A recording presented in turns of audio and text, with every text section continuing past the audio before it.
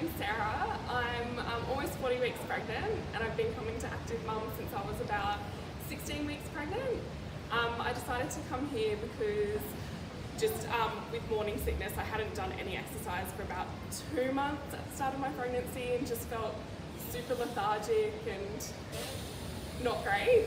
Um, I was having back pain, my posture was pretty terrible, and I just wanted to find a class that was, um, I guess, like tailored pregnancy specific class that was safe for me.